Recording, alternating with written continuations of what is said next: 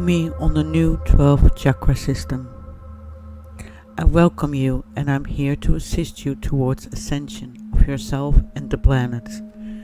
We are all here gathered together to give you the knowledge you need to accomplish this special process of ascension into the fifth dimension that is happening on your planet right now.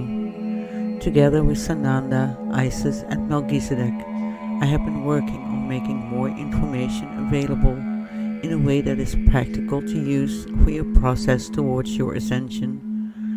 Messages and information are our main goal, but we would like to provide you with something that you can actually use on a daily basis if you like to.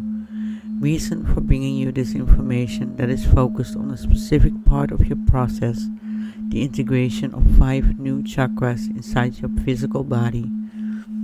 You have all heard about the seven basic chakra system.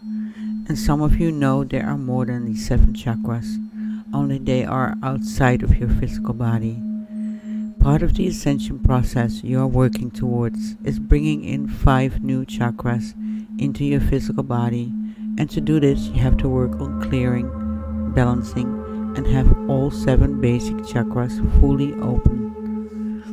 Once all seven basic chakras are open, the new chakras will start integrating and they will be settling in different places inside your body.